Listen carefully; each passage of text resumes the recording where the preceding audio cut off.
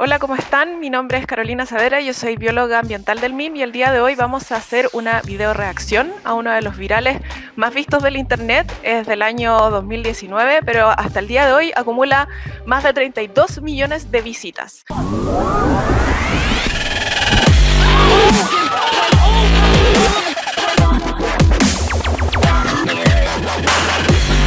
Ya, lo que vimos acá fue el, famoso experimento. El nombre común que tiene es pasta de elefante porque aparece como, un, como si uno apretara un, tubo de pasta de dientes gigante y le ponen elefante pensando en que podría ser suficiente para, para un elefante. No es pasta de dientes lo que sale de acá.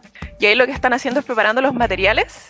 Es un recipiente gigante que va a contener parte de, la mezcla y se están poniendo trajes protectores porque lo que utilizan acá es agua oxigenada o eh, peróxido de hidrógeno.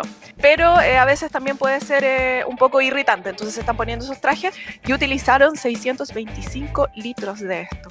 Bueno, dudo mucho que haya ido simplemente a la farmacia preguntando por DM 625 litros de agua oxigenada. Estas son cantidades industriales las que consiguieron para hacer este experimento y por supuesto ustedes no tienen que repetirlo en sus casas. Y ahí lo que tienen es estar armando una especie de recipiente para vaciar un catalizador sobre el peróxido de hidrógeno. Y ahí están preparando lo que es el catalizador que va a desencadenar esta reacción, que es yoduro de potasio. Ahí lo que están haciendo es al agua oxigenada le pusieron eh, lavalosas y colorante. Cuando el peróxido de hidrógeno o agua oxigenada se degrada, se transforma en agua y oxígeno. Bueno, el colorante es para que se vea más atractivo, para que se vea más bonito, pero por lo general las burbujas, como el oxígeno es gaseoso, se escaparían del líquido y estallarían rápidamente. Entonces, si se agrega un poco de la, de la balosa, eh, se proporciona tensión superficial eh, adicional y eso permite que las burbujas queden atrapadas y así se genera mucha, mucha, mucha espuma.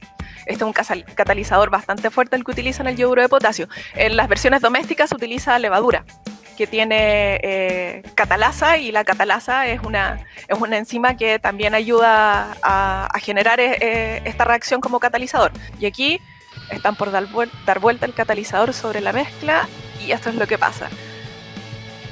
¿Vieron ese color verde al principio? Ese es el color más menos característico del yoduro de potasio y ahí se ve como una tremenda explosión de color y espuma gigantesca. La gente sale corriendo y esto toma todo el patio trasero de la casa y un poco más.